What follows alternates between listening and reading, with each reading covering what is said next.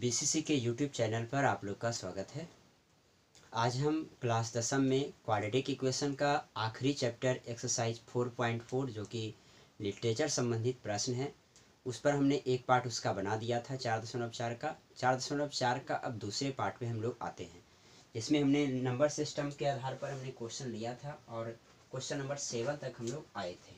आज हम लोग क्वेश्चन नंबर आठ से आते हैं।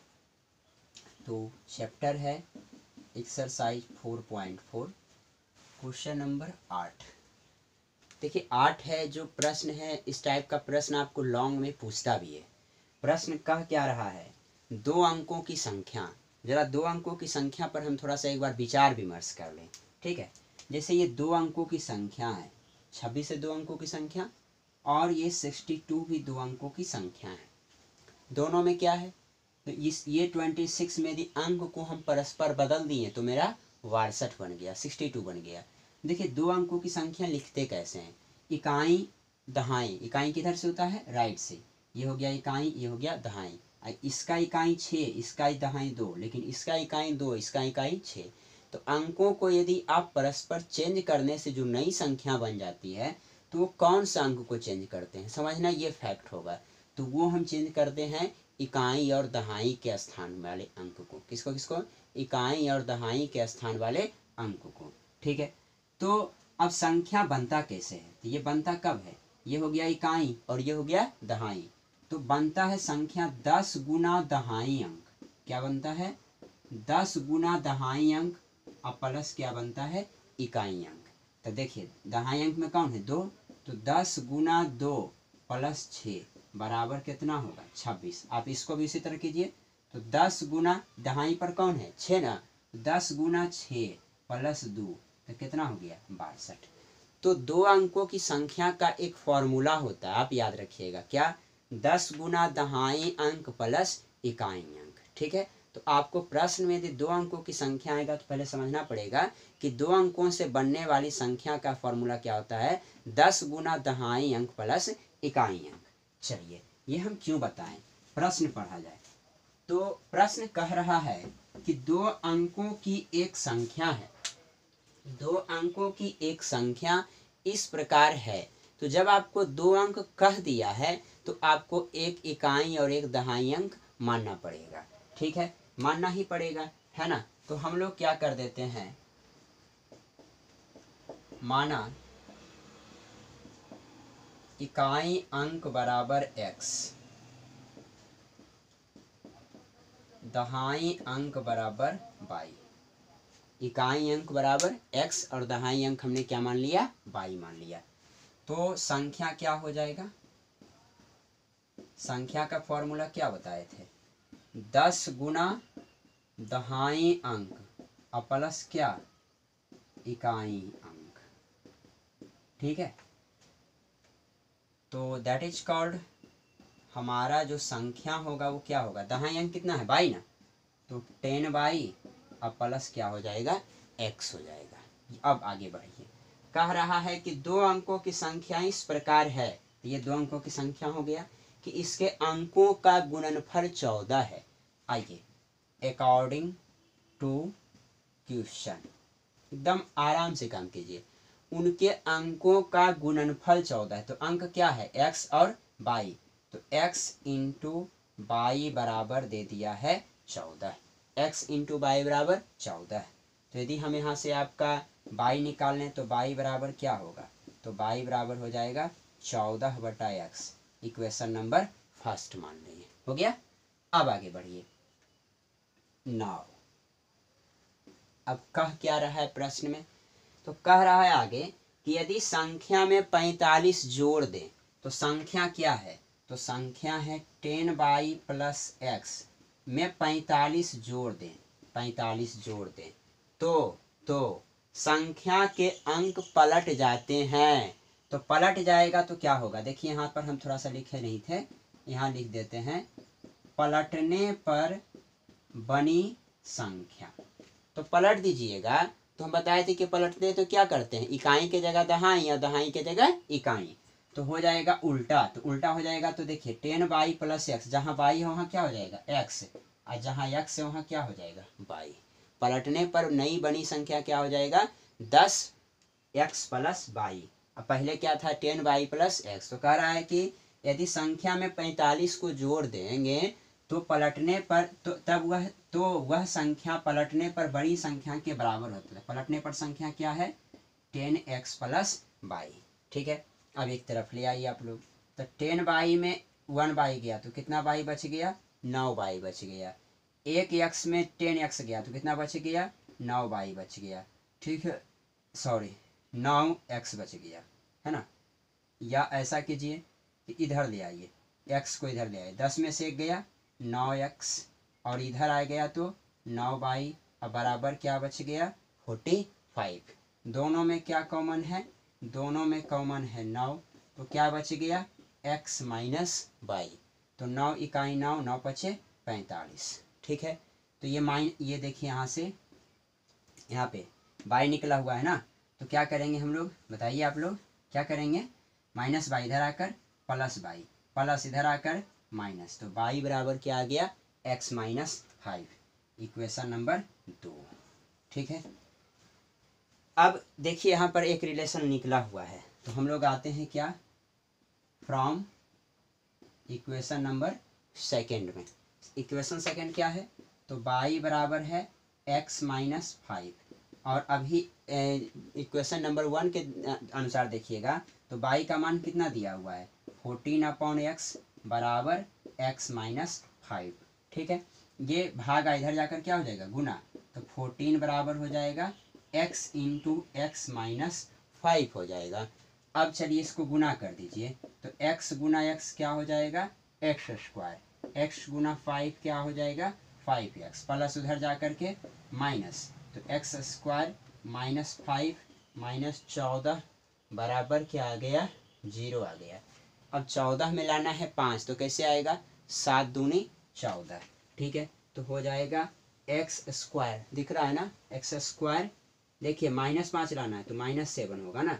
Minus seven x plus two x minus fourteen बराबर ज़ीरो ठीक है?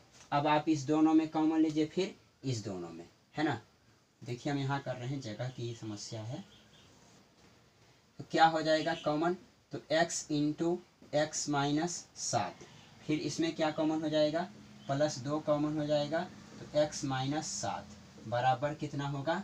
ज़ीरो फिर क्या कॉमन है? तो कॉमन है x माइनस सात। तो बचेगा क्या? x प्लस टू बराबर ज़ीरो ठीक है? इसके बाद एक बार इसके बराबर ज़ीरो पुट कीजिए तो x बराबर सात, एक बार इसके बराबर ज़ीरो पुट कीजिए तो x बराबर माइनस टू तो x बराबर माइनस टू हम लोग नहीं लेंगे। क्यों नहीं लेंगे? क्योंकि संख्या आपका यहाँ पर नेगेटिव नहीं लेना है, ठीक है? तो मान कौन सा लेंगे? x बराबर सात। तो x बराबर सात लेंगे तो बाई का मान क्या होगा? देखिए तो x बराबर सात का मान फ़र्स्ट में रखने पर, किसमें? फ़र्स्ट में रखिए। तो बाई बराबर हो जाएगा चौदह बटा एक्स तो चौदह बटा सात तो बाई बराबर कितना हो गया? दो हो गया।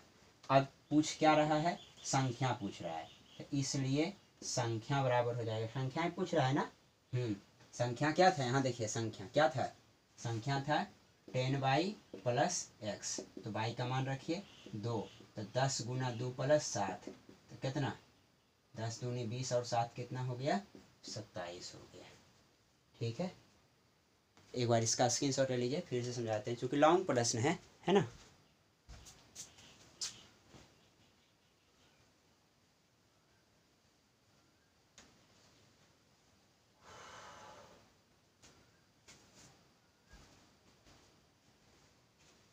देखिए एक बार फिर से। जब दो अंकों की संख्या संबंधित प्रश्न हो तो आप क्या करें?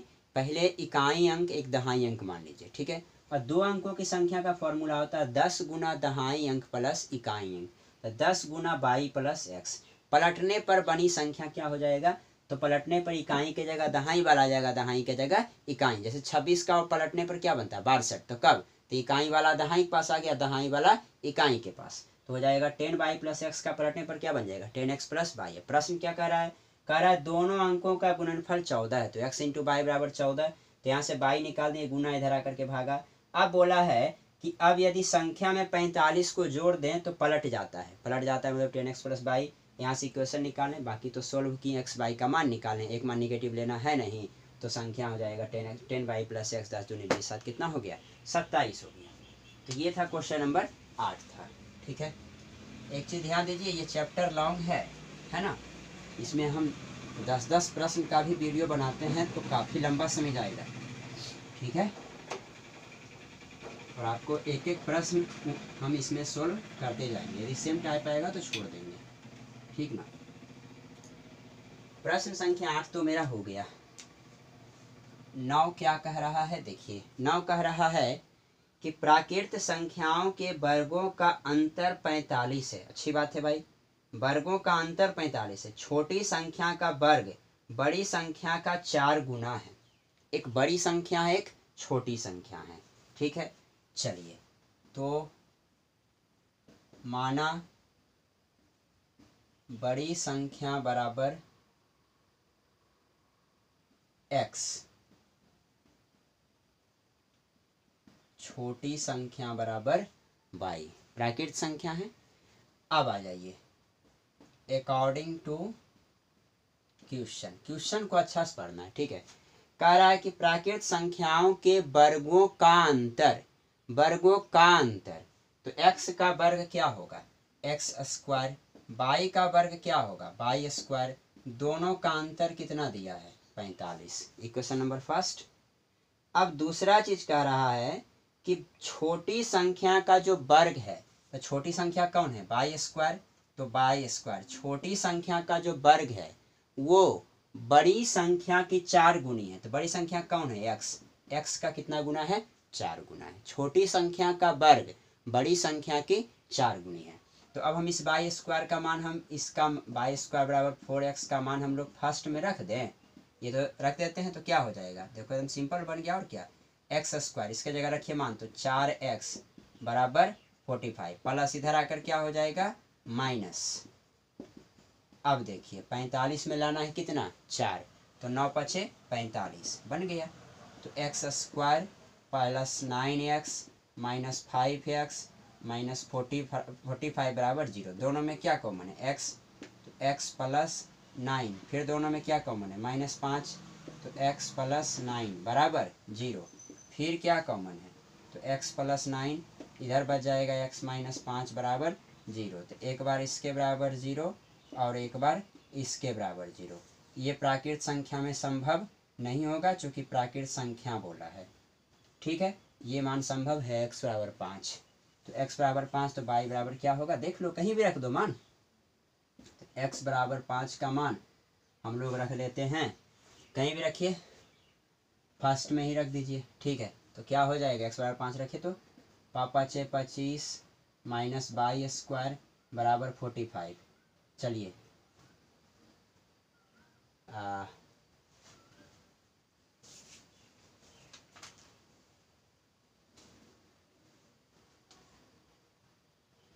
सॉरी, इसमें देखिए मान नहीं निकलेगा। क्यों? क्योंकि इधर ले आइएगा, पच्चीस में से पैंतालीस आएगा माइनस बीस, जो कि संभव नहीं है, ठीक है? तो हम इसमें सेकेंड में रखते हैं। ये मान सेकेंड है, ठीक है? ये मान सेकेंड है। तो रखिए तो क्या हो जाएगा एक्स का मान पाँच? तो बाई स्क्वायर बराबर चार पचे बीस। ठीक है? क्या क्वेश्चन कहा है?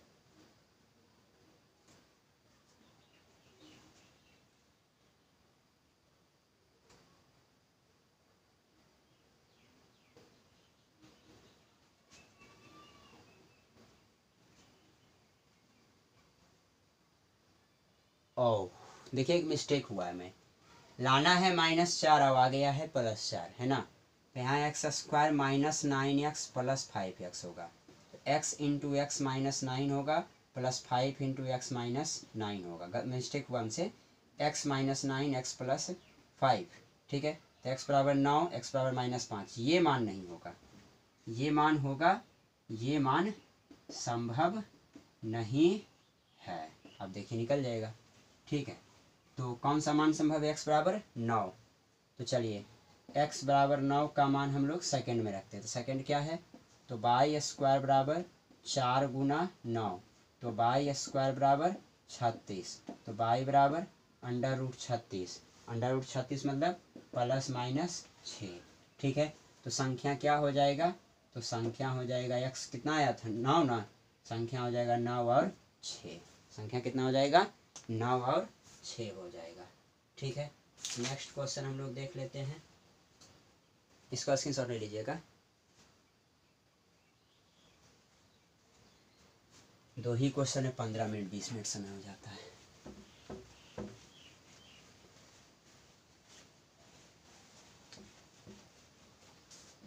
क्वेश्चन नंबर दस, आप अपने से बनाइएगा, मैं बता दिया हूँ। दो संख्या का अंतर दिया है पाँच, उनके बीच कर्मों का अंतर दिया है एक बटा दस। ये पहले चीज़ बता दिए थे, एक संख्या एक्स होगा तो अगला एक्स बटा पाँच होगा।